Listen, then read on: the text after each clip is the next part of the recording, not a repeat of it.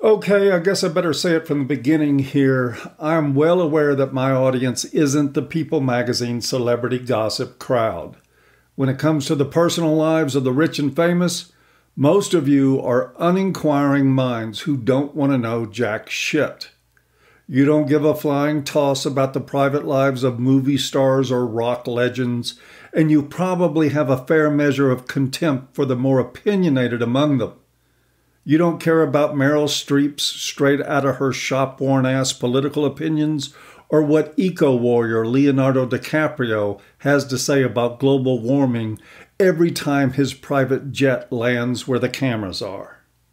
When I look at the view counts on the videos I've done for TV star slash false accuser Pauley Perrette, your general lack of interest could not be any more clear. And to be honest, I'm pretty proud of all this. I'm happy knowing that my material isn't of interest to the same crowd that devours everything they can on Brad and Angelina. That said, I'm still bothering to address the latest round of celebrity trash news regarding Janet Jackson, whose claim to fame is that she had a perversely bizarre brother with real talent. I know I sound like a snob, but I have my reasons. In the middle of all this mainstream attention to otherwise unremarkable people, there's a greater lesson in the Janet Jackson divorce case that is worthy of bringing into my material. And that lesson is that hypergamy, misandry, and the male stupidity on which they thrive are the great unholy trinity of our times for men. Like a silent fart on a crowded elevator, they ooze a foulness that is hard to escape. But unlike that quiet, noxious flatulence, you know where it comes from if you've ever been in the same room with a red pill.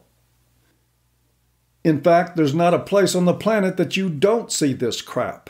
It rears its fugly head in all racial, religious, and economic groups, and even in the super rich. If you don't believe that, just ask Wissam Al Mana a man who was smart enough to amass a billion dollar fortune in high end businesses, and dumb enough to marry a skeezer like Jackson. As you will see ahead, his male dumbness didn't end with his selection for a wife and the mother of his child. Their marriage, and now pending divorce, paints a perfect picture of the fact that you enter matrimony at your own risk. Even marrying an already affluent woman and getting a prenup won't protect you if you insist on being stupid. Legal pundits are already projecting a $200 million alimony windfall for Jackson, and I'll get to more on that in a bit, but first let's look at the weapons grade gold digging employed by Jackson to set herself up for the money grab. Almana and Jackson married in 2012, employing a prenup that covered them for five years. About a year before the prenup expired, boom, Jackson gets pregnant. Two months after she had the baby, and right after the prenup expired, it's Splitsville. And of course, right on the heels of her dumping her husband, Jackson hits the media with accusations that he's a control freak Muslim trying to coerce her into living the allegedly oppressive life that Muslim women live. Poor baby. Ah, but I'm sure it's nothing that half of his billion dollar empire won't help her overcome. Still, I want to take a minute to address what is likely going on here, minus all the you go girl spin that is already taking place in the media. First, and to be clear, I don't have anything against Janet Jackson. She's an entertainer, nothing more, nothing less. Nonetheless, her timing and her alleged facts around this case could not have been constructed and planned any better if it were done by a high powered divorce attorney. Jackson marries a very wealthy businessman nine years her junior. She converts to Islam so she could marry him, which of course is a totally plausible scenario for someone whose entire adult life and career has been dedicated to putting herself at the center a purely sexual public spectacle. And of course, that is what every Muslim man who insists on a devout, obedient Muslim wife looks for. an American pop star who defines pop by letting her tits pop out at a Super Bowl performance. So, they get a prenup that expires in five years, and of course, at four years, Jackson, at 50, gets pregnant. She then squirts out the kid, immediately puts her wedding ring in a drawer, link in the low bar, and quickly introduces the child to her attorneys. At the same time, she moves out of her shared living arrangements with Almana and back to her own residence, letting it go public that she is changing the locks, creating a threat narrative. Almana, just like any threatening, sinister husband wronged would do, makes a public proclamation of his undying love for her in what can only be considered a plea for her return. Now, I think you have to imagine what Jackson's attorneys experienced as they looked at the complete scenario here. A filthy rich Muslim husband, already accused in the media of being oppressive, a damsel of a wife who is also the embodiment in many ways of Western women's sexual liberation. And she's a minority to boot. Never mind that her husband is a minority too. You see, he's one of the bad minorities. She's a good minority, and that will engender extra sympathy for her.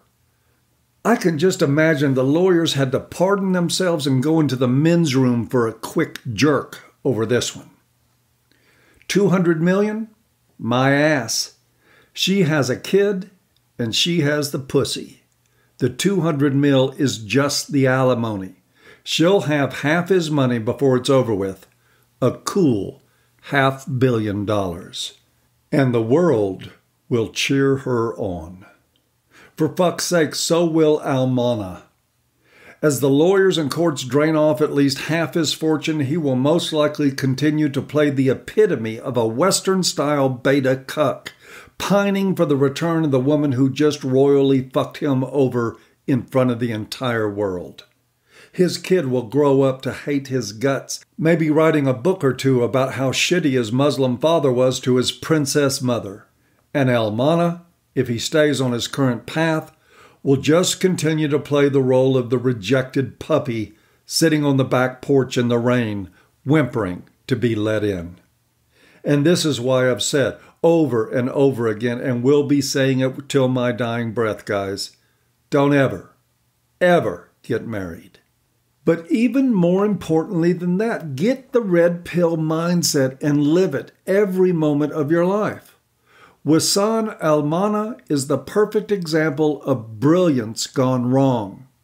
Sure, he did inherit his businesses from the father who founded them, but all indications are that he ran those companies with great competence, guided by an outstanding worth ethic, and he was wildly successful. He could have literally had any woman he wanted, perhaps even the kind of woman that would not abscond with his progeny and all his money. Not that he had any guarantee, but his possibilities were limitless. He could have lawyered up a lot better for the prenup. Not that that's any real assurance, but it might have helped. And he could have chosen a lot better than the pop star he jerked off to as a teenager, which is exactly what it appears like he did. And it is what so many men do. Let their jerk off fantasies decide what women are and aren't trustworthy. Hell, he could have taken a lesson from Australian billionaire times five, James Packer. Packer was engaged to rich and famous singer Mariah Carey, but she could not wait for the wedding before she started spending his money like a drunk sailor. Well, he got wise to that and called it off.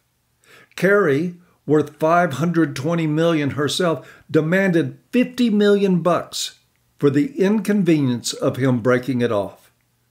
I don't know if he had to pay, but even if he did, it would have been better than the two and a half billion she certainly would have taken him for down the road. But Almana did not learn from men like Packer, nor do I suspect he will learn this stuff from any other man. Some men's stupidity with women knows no bounds and no bottom. Now, is Janet Jackson a player? I'd bet the farm on it. Not that it really matters.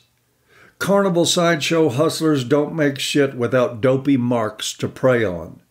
Wissam Almana was a mark from day one. He's still a mark, begging for the sideshow hustler to come back, bend him over, and screw him again. 10 to 1, she could take him for the half billion, then come back in a year and score half of what's left. And he would probably write her another love letter, which would be used for another round with him as media laughingstock. That is the stupidity of men. And that is it for another talk from an ear for men. As always, I hope you guys have enjoyed. Uh, please, by all means, sub to the channel if you like what I'm doing here. Give it a like, give it a share, pass it around, spread the word.